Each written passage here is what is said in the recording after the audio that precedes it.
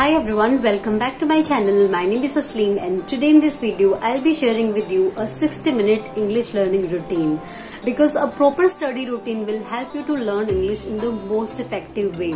So today in this video I'll be sharing three things with you that you have to practice regularly. Just practicing these three things on a regular basis will give you amazing results. So without any further delay, let's get into the video. Number 1 Speaking practice. For this exercise, you have to talk in English for 10 minutes every day.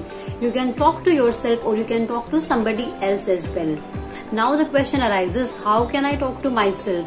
Now I'm going to give you some ideas about which you can talk to yourself. Number one, you can describe your experience. You can describe your memorable day or you can describe your day as well that what i have done today what constructive i have done today to achieve my goal okay if you don't want to speak to yourself you can just grab a pen and a notebook and you can write down all the ideas which are coming to your mind right and you can uh, talk about your goals you can describe a beautiful moment, a beautiful experience of your life and you can pretend to give an interview. Okay? Pretend that you are the interviewer and you are interviewing. So if someone is going to ask you, introduce yourself, then try to give the answer. Okay? Try to practice this answer in front of a mirror. Right?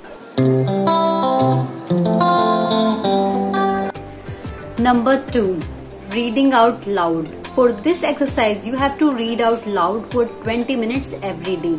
You can read anything such as newspaper, short story, book, magazine, novel, etc. This exercise will help you increase your vocabulary and this exercise will also train your brain to speak in English.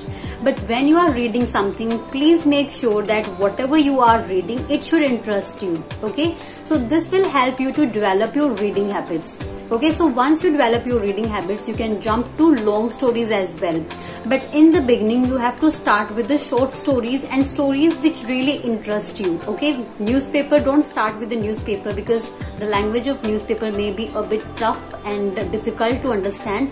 You can start with a short story which is really very interesting. Okay so this will help you to read more passionately and you won't get bored as well